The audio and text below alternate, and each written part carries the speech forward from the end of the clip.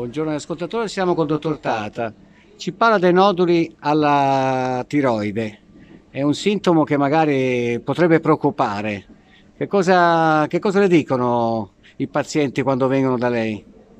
Allora, dobbiamo partire dicendo che il, um, la tiroide, capire cos'è la tiroide, è una ghiandolina che eh, si trova appena a di sotto della, della laringe davanti alla trachea, eh, prima dell'ingresso della trachea in torace, nella parte anteriore del collo.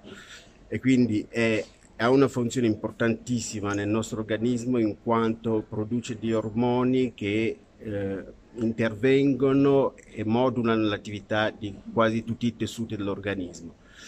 E in corrispondenza di questa ghiandola possono sorgere dei, dei questa ghiandola può ammalarsi come si ammala ogni, ogni, ogni eh, organo del nostro, del nostro, organismo e più in particolare la tiroide tante volte è sede, è sede di insorgenza di nodulini. Okay? Tante volte il paziente si presenta dal medico perché eh, o in corso di, di esami fatto per altri motivi o perché se l'è scoperta occasionalmente ha scoperto che eh, di avere un nodulo al collo e quindi va dal medico per il nodulo al collo. La, il nostro ruolo, cioè quello del medico e del chirurgo, è quello di definire la, la natura di questo nodulo e decidere se sono noduli da operare o no.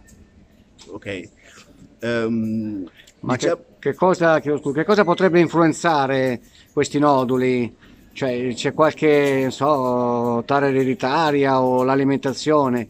Che cosa potrebbe incrementare? Diciamo che l'alimentazione un tempo si diceva, cioè, c'era molto rapporto tra eh, l'insorgenza del nodulo alla tiroide, il gozzo in generale e il consumo de, dell'iodio, cioè del sale. Okay? Oggi forse un po' di meno perché la, l'alimentazione comunque è stata abbastanza equilibrata con l'apporto, eh, sapendo con l'apporto dell'iodio, ma i noduli nella maggior parte dei casi, un piccolo percentuale può avere un rapporto ereditario, ma nella maggior parte dei casi no.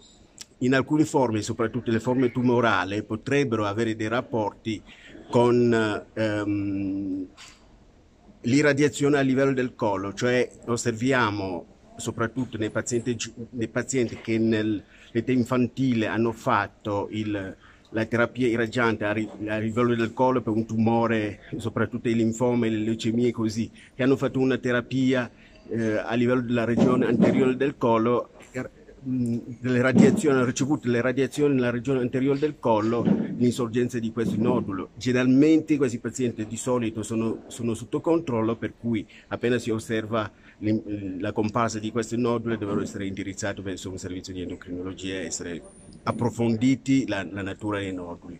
I noduli non sono tutti tumori, dobbiamo partire dal fatto che la presenza di un nodulo alla tiroide non vuol dire presenza di tumore alla tiroide, per cui noi dobbiamo discernere tra quelli che sono tumorali e quelli che non lo sono e questo è il ruolo di solito del, del, del servizio di endocrinologia che attraverso una serie di esami strumentali e, e, e, e, e, di laboratorio riescono a distinguere tra i noduli che andrebbero operati e quelli che si dovrebbe tenere sotto controllo o com- comunque quelli che si può trattare con, eh, con terapia conservativa. Ecco. Eh, ma nel caso per esempio di ingrossamento della tiroide oppure nel caso di, eh, di aumento di peso, diciamo, la tiroide è interessata? Sì e no cioè nel senso non è detto che ci sia un rapporto causa-effetto tra l'ipotiroidismo e tra la tiroide e normalmente del peso. C'è, però si può avere in paziente, essendo la tiroide un ormo, una se c'è un, eh, ormonica, un'attività metabolica eh, importante, l'ipotiroidismo importante può portare a un, a un, aumento del peso per una riduzione del metabolismo di base, ma non vuol dire che l'aumento di peso sia legato alla... A, alla... Ma l'ingrossamento della tiroide deve sempre preoccupare?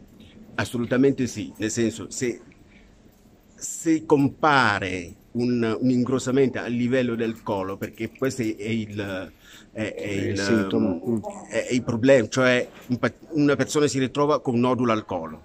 quello deve andare da un medico, cioè dovrebbe indirizzarsi verso un servizio di endocrinologia dove questi noduli devono essere studiati e approfonditi.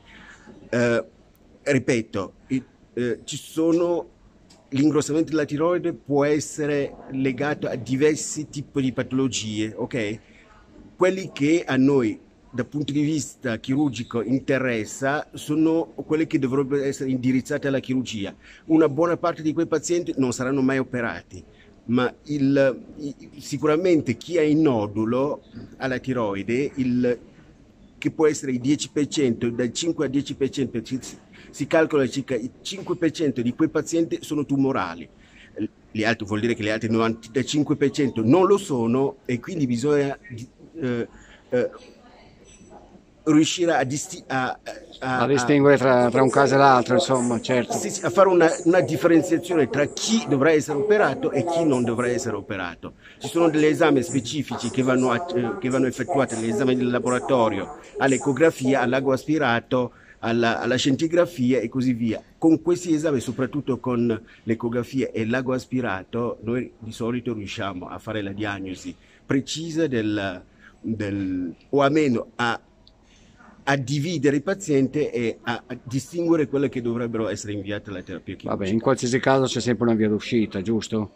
Assolutamente, va detto che il, diciamo che il grosso vantaggio, de, il, grosso vantaggio il, il, i tumori della tiroide hanno i, questo aspetto positivo di essere eh, tumori non particolarmente aggressivi, nel senso che la sopravvivenza dei pazienti a lungo termine, quelli sottoposti a terapia chirurgica e a terapia post-operatoria nel caso in cui fosse necessario, hanno una sopravvivenza buona. Ci sono delle forme tumorali molto aggressive che quelle devono essere eh, eh tirate fuori da, da, da questo gruppo e inviato verso altre terapie. Va bene, per altre informazioni naturalmente le persone possono rivolgersi a lei, vuol dirci il nome della sua struttura? Lavoro in Fondazione Maugeri di Pavia. Va bene, Fondazione tutto. Maugeri adesso, Istituto, eh, Istituti Maugeri di Pavia. Va bene tutto, grazie Giuseppe Criseo, Vice Press.